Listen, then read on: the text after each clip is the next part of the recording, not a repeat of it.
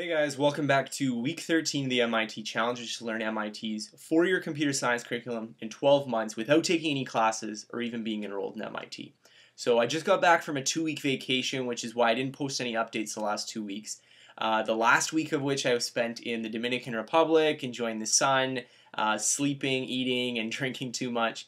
And now I'm back to work. I'm back in Canada. I'm not in Vancouver. I'm actually in my hometown of the Pas, Manitoba, which boasts uh, exceptionally cold winters of an average January temperature of minus 20 degrees Celsius. So I'm getting some real winter before I go back to Vancouver, which is considerably milder.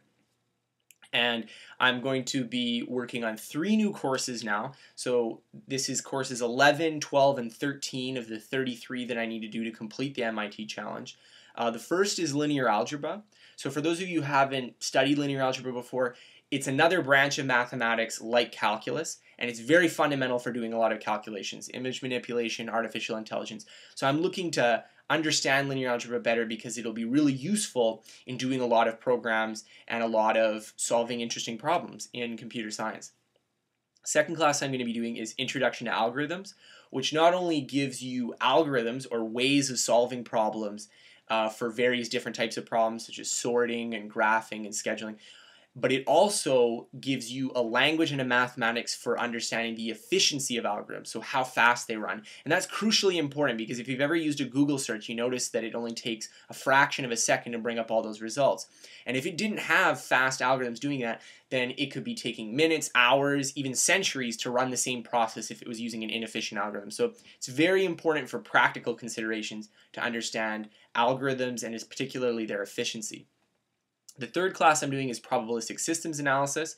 I've done a little bit of probability in the last class I finished, uh, mathematics for computer science.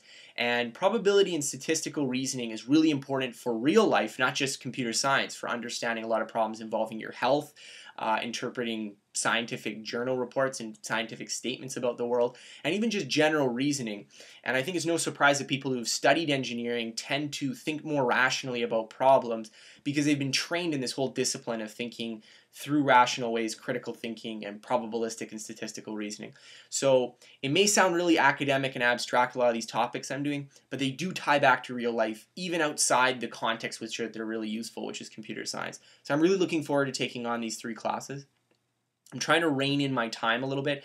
Uh, near the end of the last three months, I was taking about seven, eight uh, days per class. I'm trying to tighten that back up to five or six because uh, I want to save more time for the end where I can, you know, have a little bit more flexibility in case some things go awry as they inevitably do.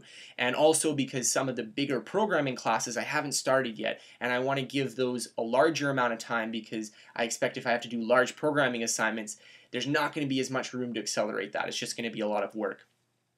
So it, while I'm doing technical classes, which are based off of uh, final exams, I'm going to be accelerating those and trying to do those in a shorter period of time. So thanks for following. Uh, this is going to be a continued update, so I'm going to be updating you guys next week on my progress with these three classes in the MIT Challenge in general. So stay subscribed below, and I'll be updating you on this, as well as the latest learning tips and self-education resources that you can be using as well. So thanks for following. Bye.